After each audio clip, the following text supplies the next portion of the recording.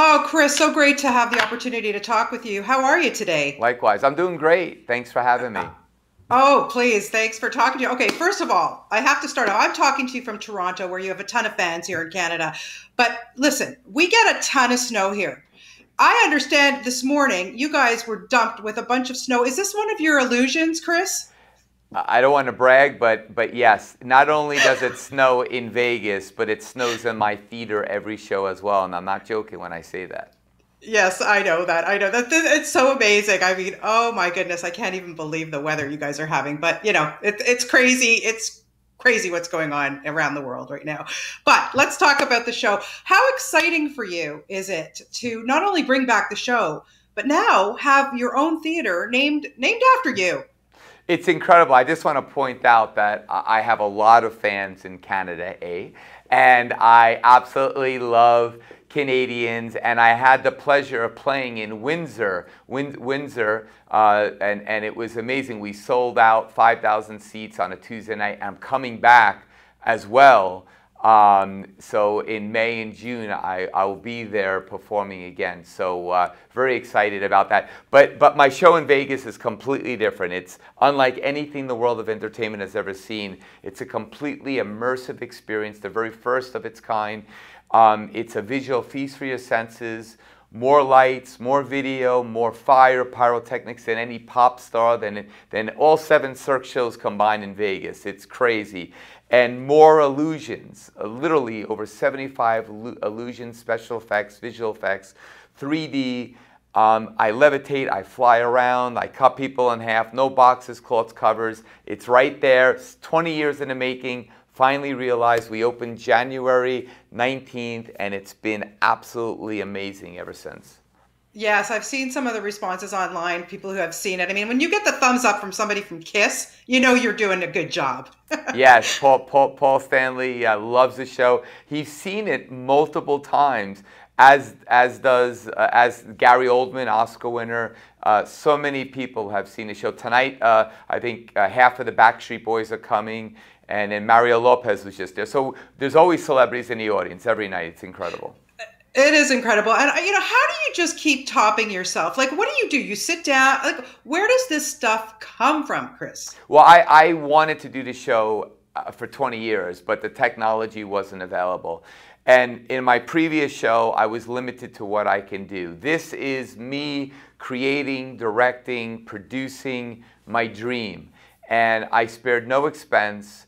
Uh, this show, you know, and I don't say this boasting, is the most sophisticated technological show in Las Vegas or the world of entertainment. It's really kind of redefined how we experience theater because we're not watching the show. The audience is immersed, they're in the show, and stuff that's on the video comes to life. So you don't know where that line is blurred, blurred between reality and illusion, and it just kind of harnesses all of this incredible magic and these illusions that we've never seen before with all the support of lights, video, uh, pyrotechnics, incredible sound system that surround sound. It's just something that you have to experience in order to appreciate what, it, what it's really about. Yeah, how do you find the balance? Like, it, you know, some people like to just watch close up magic. You know, I, I, we know what you do, what you do, and it's fantastic, and you do an amazing job at it. But how do you find the balance, like with the big pyrotechnics and all that kind of stuff, and then just the kind of low key yep. magic? Well, you know what I mean? It's really important that this show be an emotional roller coaster where you don't know as an audience member where it's going to go, turn, twist, or or or uh, drop or flip over. And so this show has me doing a lot of close up magic when I'm in the audience with people surrounding me 360 degrees, doing coins, doing things like bringing four women up randomly every single show and addressing their fears and bringing them to life, or borrowing a cell phone, having a vodka bottle, and trying to take their cell phone and smash it right through the vodka bottle, which I world premiere uh, in the show, which I did on television but never performed live until now at Planet Hollywood. You can see all of these things escapes, grand scale illusions, levitation, mentalism, close up magic, you know, bringing people's fears to life. It, yeah. This show has something in it for everyone.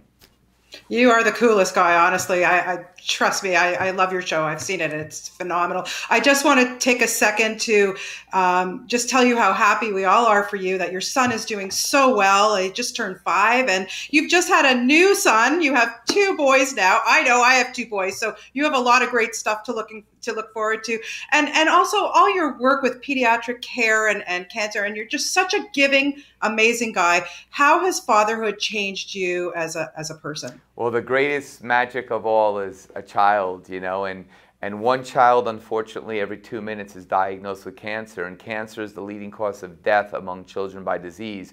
So we need to all stand together, shoulder to shoulder, and fight this disease. And if you'd like more information on how to donate, which 100% of donations go to research and treatment, I don't take a penny out for any expense of any kind, you can go to crissangel.com and click on that help button, and you'll learn about a lot about pediatric cancer, which, by the way, we have a documentary coming out this year called 1090 about my son's trials and tribulations and the family so that other families that hear those horrible words, your son or daughter has cancer, know that they're not alone, that they can see what we went through and how we cope with it so that maybe it could help them.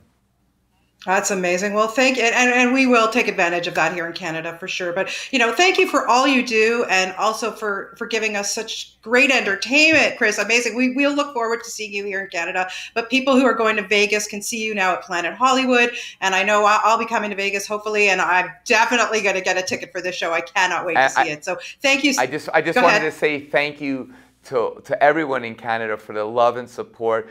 Uh, your country has been so amazing to me and in my career. I'm just grateful and blessed, and I just want to say thank you. And hopefully, I'll see you at Planet Hollywood. Yeah, definitely. Thank you so much, and best of luck with the show and uh, and with the family. And it's all good. It's all uphill from here, my friend. Thank you. God bless. Okay, you too. Bye bye.